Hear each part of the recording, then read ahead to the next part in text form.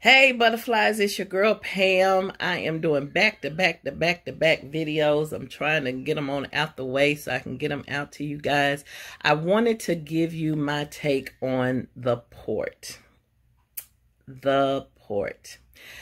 Probably the best thing I've ever done as far as uh, the best decision thus far as far as, you know, um, going on this breast cancer um, diagnosis. Um, of course, I was hesitant because I didn't want to go under, but I know for a fact that it has made the process so much easier for me.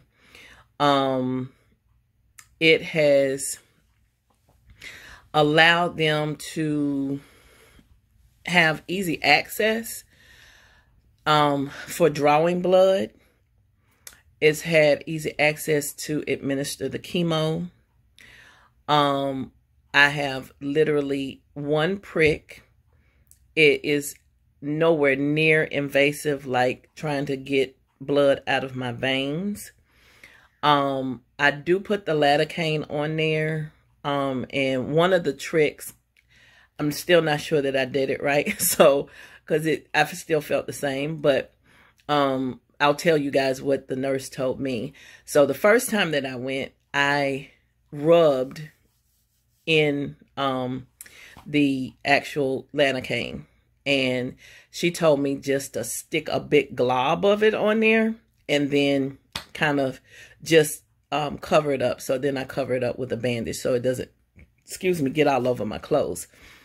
Um, and you do that about an hour before your visit so that, you know, it's pretty numb.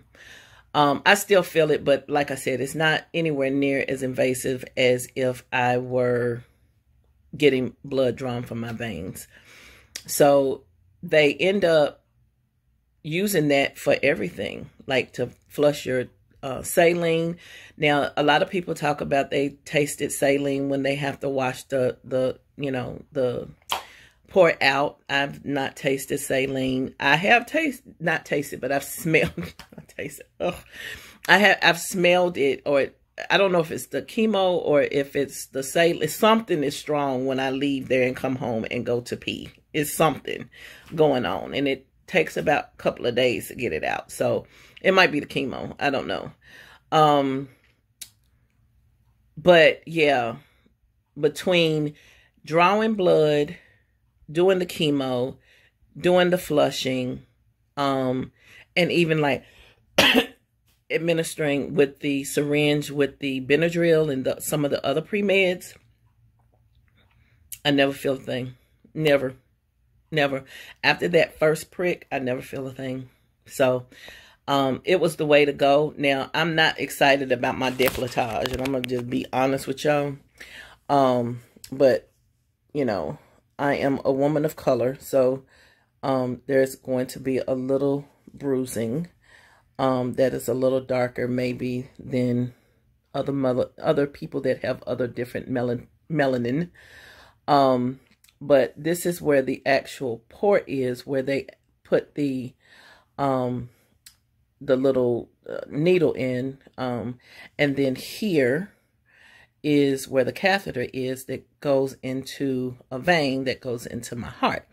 And then that's how it's easier for them to, well, I guess the chemo gets around a lot quicker because, you know, it's pumping from the biggest vessel you got.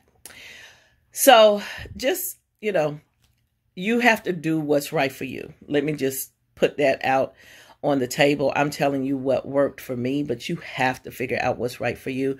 Some people don't want to, you know, have to deal with the the Port-a-Cath. That's fine.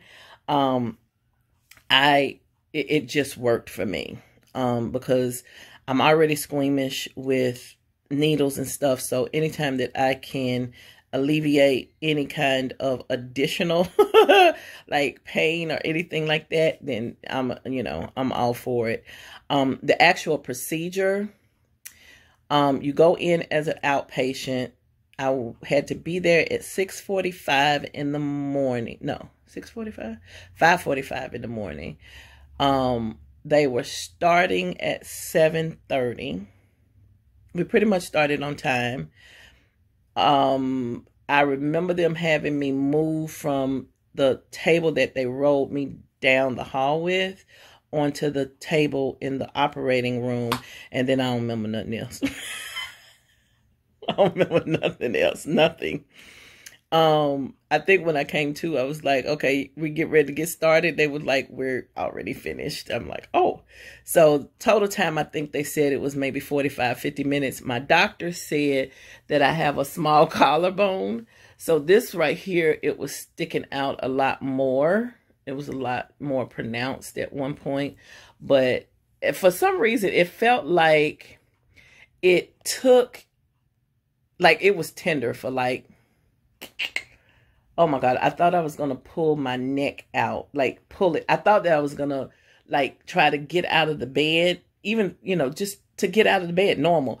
And i thought oh my gosh i am going to pull this thing out of my heart and i'm gonna bleed to death because it really felt like that. But it wasn't it you know it had to just kind of it, it was foreign in my body it just wasn't wanting to be there and my body didn't want it there. But after that first um time that they, you know, went in and um what's the thing called? Did the the the to draw the blood and put the, you know, the actual needle in there. It it settled it down. I don't know. Maybe it was like, okay, now I know what I'm supposed to do. So it was fine. Um took a while for the like the sutures to come off. Um I didn't bother it. I literally I just, you know, they were like just let them fall off by themselves and that's what I did. Whatever they told me to do, that's what I did cuz I ain't want to mess up nothing. I ain't want to, you know. So, um but it took about 45 50 minutes and I was home by 11. They just wanted to make sure I was I, I was think I was by home by 10, honestly. But they just wanted to make sure I was okay. I rested the rest of the day. And I went back to work the next day. So, yeah. So I'm hoping that that will help give you a little bit of information on a port. Um, if you're trying to make your decision on whether or not um, you want to get one, do what's best for you. Do your research. Um, if you know, if if you don't want one, don't make anybody make you do one. Um, they can do it intravenously, um, do chemo.